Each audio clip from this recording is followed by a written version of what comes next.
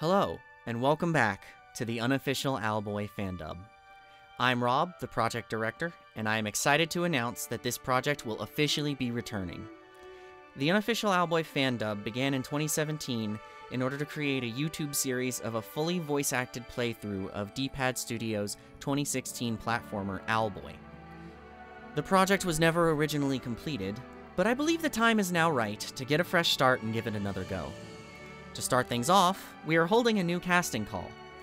Though several of the original cast members will be returning for the new run, we are looking for more voice talents to round out our cast.